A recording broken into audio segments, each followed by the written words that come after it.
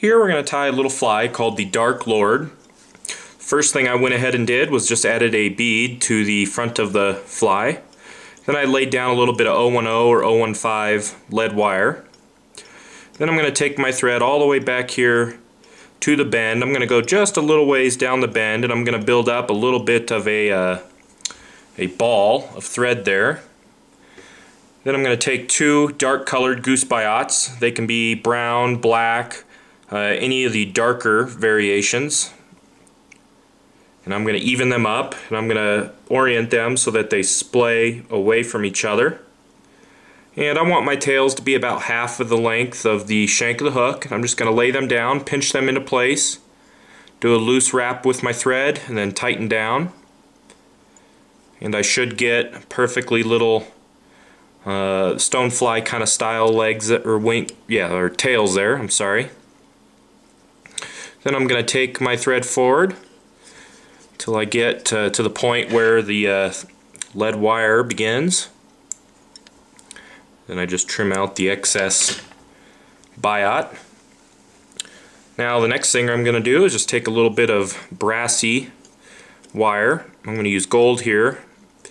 You can also use copper. Either one of those colors will work just fine.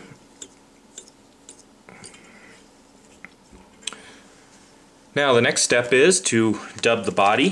For this I'm going to use a synthetic blend dubbing. You can use a lot of different types of dubbing for this, uh, but the type of dubbing you want, or the color dubbing you want to use is black.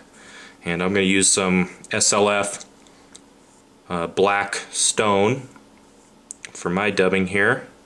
Like I said, any dubbing will work. Peacock black and ice dub is a good color. Any of the Antron variations are also uh, good dubbings for this fly. I'm just going to start at the back, work my way forward.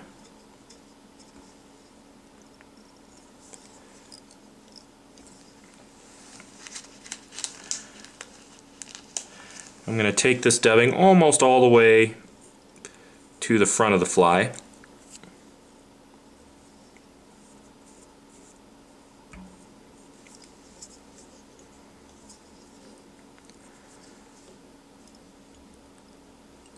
Going to stop just short. Now the next thing we're going to do is just counter wrap this wire through the body, spiraling it forward. Then I can capture that once I get uh, to the front.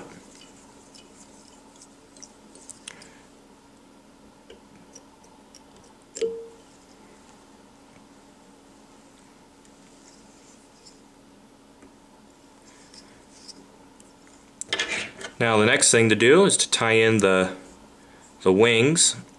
For the wings we're also going to use some goose biot and we are either going to use ginger or gold, either one is just fine. And we want these wings to reach back and just barely overextend the tail. And I'm going to tie them in so they are oriented kind of facing away from each other like a V just like so. Then I'm going to lay down a couple wraps.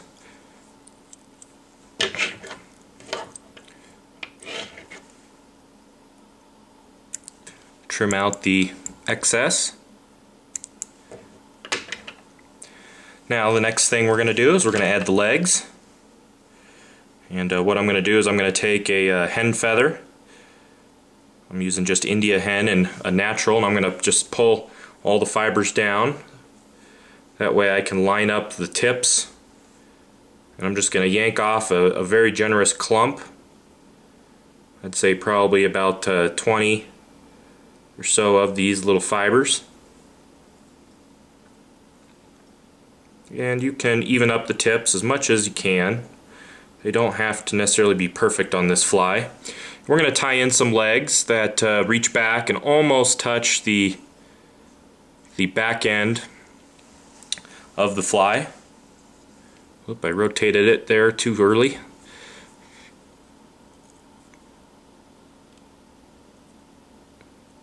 And we're going to tie these in on each side of the fly. I'll do two wraps, that way I can rotate it and show you. See how nice and long those legs are. And I'm going to do the same thing on the uh, other side here.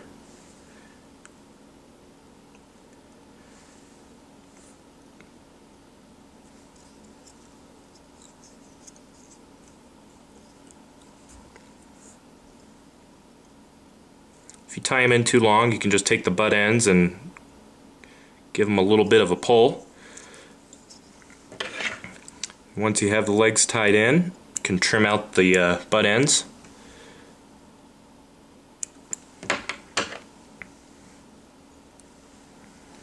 Then the last thing to do on this fly is we're going to just cover up our thread work and uh, lay down a little bit of a collar. And we're just going to use the uh, same black dubbing that we used for the body. Dub it very, very sparse, just enough to uh, coat the thread. All we're really trying to do is just cover up the work that we did right at the end and build up a little bit of a head.